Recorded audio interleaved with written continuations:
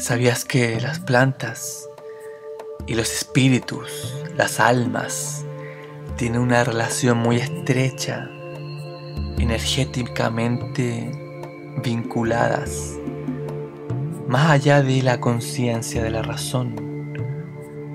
Ellos interactúan permanentemente y a pesar de que en esta forma de vida occidental, moderna, destructiva del medio ambiente, la naturaleza y nuestro vínculo vital con la madre tierra, a pesar de eso, eso sigue vivo.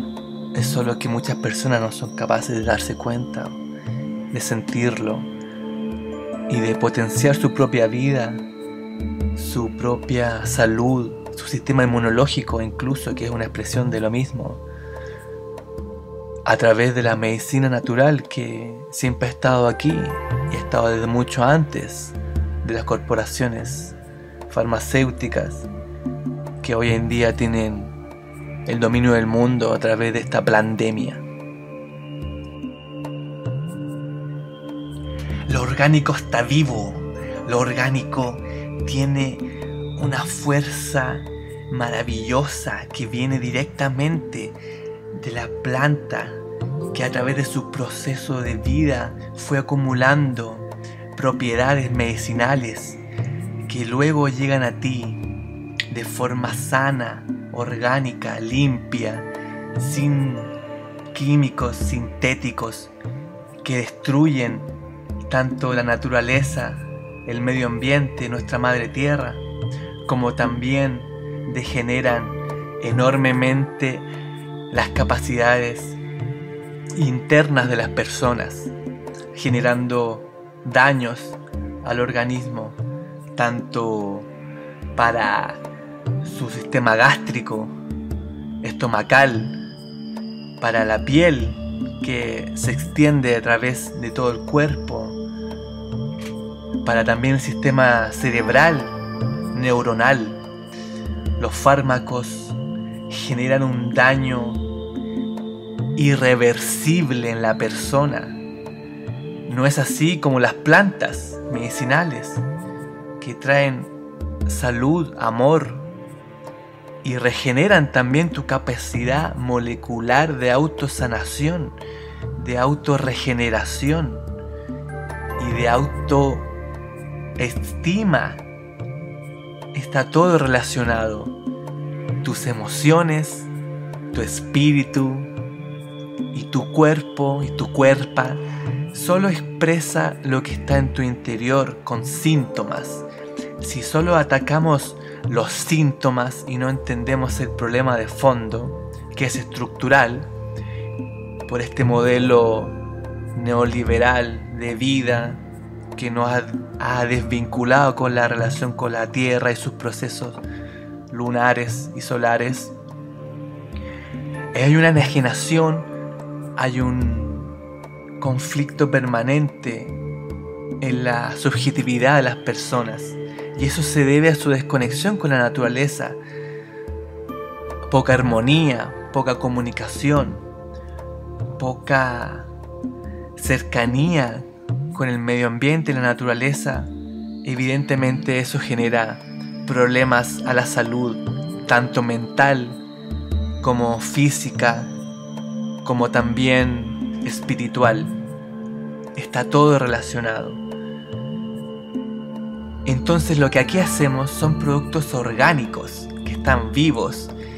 No ocupamos preservantes ni químicos de la industria que son derivados del petróleo, genocida, ecocida. Aquí ocupamos elementos que están en la naturaleza silvestre, que se han sembrado, que se han plantado y que se han recolectado.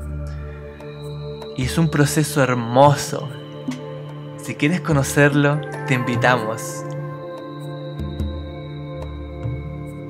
Cuando tú preparas tu propia medicina, hermaga, hermago, tú vas cargando de una buena energía aquel loción, ungüento, aquella comida, aquel trago, aquel bebestible, aquel aceite, tintura madre, lo que sea que tú hagas, lo vas cargando de una energía de amor, de bienestar, de plenitud, que eso evidentemente va cargando de buena manera el resultado celular, molecular del producto final que después tú mismo consumes o tus seres queridos o que tú vendes. Entonces tú estás relacionado y relacionada íntegramente con todo lo que te rodea, con todo lo que comes y bebes y te pones en la piel, porque la piel es muy absorbente.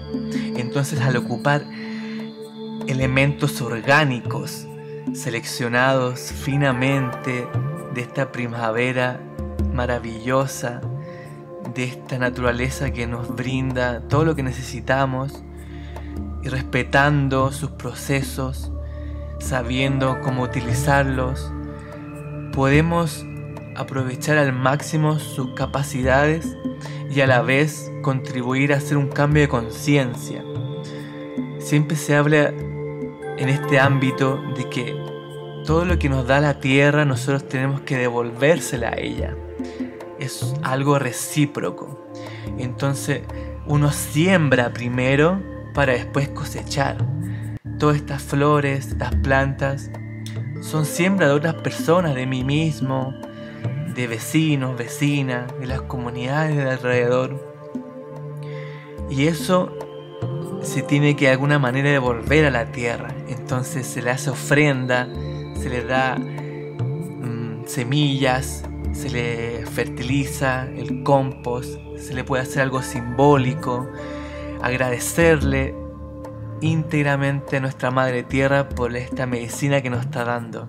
Es un principio fundamental para poder relacionarte sanamente con la medicina y no expropiarla como lo hacen el pensamiento empresarial y industrial que se aprovecha de las plantas y de la naturaleza para lucrar sin reponer sin ser sustentable y sin tomar las medidas suficientes para que las mismas plantas puedan volver a, crecer en el próximo ciclo.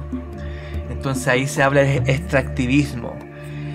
Extraen la madera de un bosque, extraen la hoja de los árboles, extraen los minerales del suelo, extraen el agua lo convierten en un bien de consumo para los mercados internacionales. Y eso tiene el mundo ahora en guerras entre países potencias, guerra de capitales por la hegemonía. Y es por el desequilibrio. Aquí te invitamos a que tú hagas tus propias pociones, tus propios ungüentos, tu propia autosanación, conociéndola, experimentándola viviéndola, aplicándola en tu día a día, tiene una relación íntima, amorosa con la planta. Yo, hablando desde mi experiencia, la aloe vera la amo, la amo, amo, amo. la, cuando la descubrí, la empecé a tomar en el agua, en el té, la empecé a poner en, el cabello, en el rostro. Cuando tenía heridas me caía, me sanaba. La usaba en relaciones íntimas, sexuales. Y sabes que me abrió mucho el mundo la percepción.